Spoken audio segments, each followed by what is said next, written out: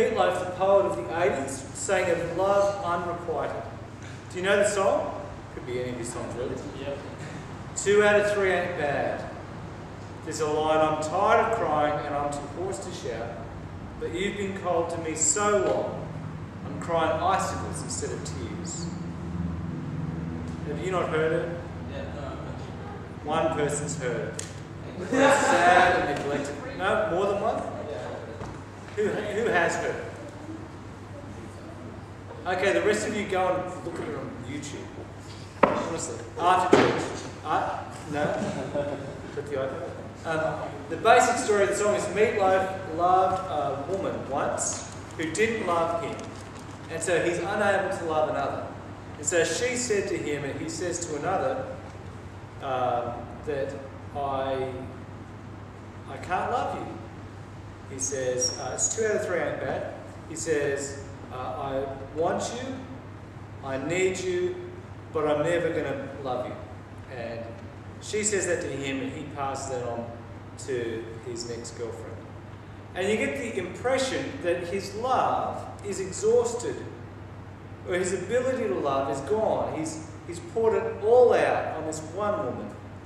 And so he can't give any more to anyone. Tonight I want to talk about the exhausted wrath of God. In Ezekiel 4 to 7, we read of God's terrible and amazing wrath against people. We read why he is angry with them and what the result is, and it's not pretty. We live in a culture with people who like to think that God is nice and tame and ready to help just whenever I ask him. In actual fact, that tells us nothing about God, but more about what people like to think about God. The God who we meet in the Bible is jealous, powerful, and terrifying when his wrath is provoked by his people. We will read of the judgment which God will bring upon his people, and then we'll look at the applications for us today. But before we do that, let's pray. Oh, Lord God, thank you so much for your word. Please open our hearts and minds as we consider your word tonight. And we ask that you would change us. In Jesus' name, Amen. It'd be tough being a prophet, wouldn't it? You, you thought they'd just get up, preach, people listen, repent. It's good. Well, that's what Jonah does. Ezekiel gets to act out the judgment of God against Jerusalem. Now, what does that look like? Let me show you.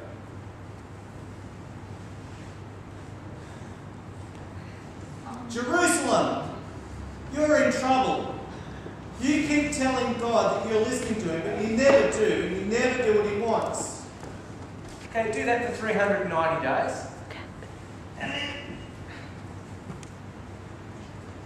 Judah, you keep sinning. Honestly, what makes you think you will survive the wrath that is to come? Seriously?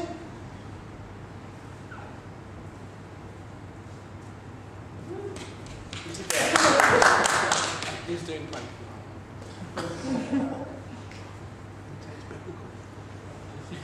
Like, he was- for people. Um, he did that for a year and two months. Let that sink in. Every day for a year and two months. What about the food? Did you read those weird measurements? The shekels and the. That's how much bread he's talking about. And that's how much water. I don't know about you, but that's lunch to me. And this is your daily allotment of really actually rubbishy bread and poor water. He demonstrates their wickedness for over a year. Now the question is why? Why does Ezekiel need to do this? See, where was Ezekiel when this was happening? Can anyone remember from last week? Where was Ezekiel when he got this word from God? Seven days ago. Chapter 1. He was among the exiles in the Kebar River. And, and so, he is speaking to those who have already been pulled out of the nation. In the first attack of Nebuchadnezzar against Jerusalem, he carries off some of the people. This is where Daniel comes into it. And we think Ezekiel was in that group. And so while he's out among the exiles, there might be the hope that Jerusalem will still hold the hope for the return of the kingdom, for the return of God's nation. Not a chance. Ezekiel lies down for a year and two months, day in and day out, to demonstrate the wickedness of the people of God. He bears the sin of Israel for 390 days, each day representing a year. 390 years of God's people saying, Stuff you, I'm going to do what I want. He represents the wickedness of Judah for 40 days, each day being a year. 40 years of God's people saying, We have the temple of the Lord. We will be okay. We can do whatever we want. And God is required to protect us.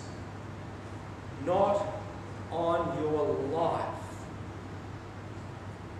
For some people, the question of why is this exile happening to us was still there. And Ezekiel's job was to show them why and he does it graphically. Now, as we read through chapter 5, we see more that God has deliberately set up to scatter his people. I mean, if you had a good haircut and you were the prophet, that was bad news. Get a sword, cut your hair, scatter it. A third killed by fire. That's the famine, and the plague. A third killed by sword. A third scattered to the wind. Uh, it doesn't necessarily mean exactly one third, one person in three. But he's saying is like some will, do, will die this way, some will die this way.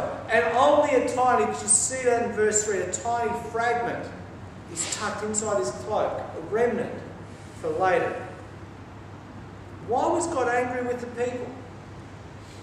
What provoked him to such anger? Uh, look at chapter 5, verses 6 and 7. Yet in her wickedness she has rebelled against my laws and decrees more than the nations and countries around her. She has rejected my laws and has not followed my decrees. Therefore, this is what the sovereign Lord says You have been more unruly than the nations around you and have not followed my decrees or kept my laws. You have not even conformed to the standards of the nations around you. The people of God rebelled against him more than the nations around them. The people who did not know God or have any idea of what He wanted with their lives did a better job of pleasing God than His own people, the ones He had spoken to, the ones He had blessed with His temple, with His word, with His prophets and His covenants. There is in this whole book of Ezekiel a sense of God saying, I don't expect the nations to know me. I don't expect them to know what I want. But you know better. You should know what I want. How is it that you do worse at this than the Gentiles, or at least can say, Oh, we didn't know? Have a look at verse 13 of chapter 5. Then my anger will cease, and my wrath against them will subside. I have spent my wrath on them. God's anger will have an end for the people of Judah. We see that also today. Of course, when God's wrath is spent against his people in Ezekiel, it's because they are virtually wiped out. Is speaking of just the remnant remaining, whereas all the rest have been scattered, all the rest have been killed, all the rest have fallen to famine and the sword.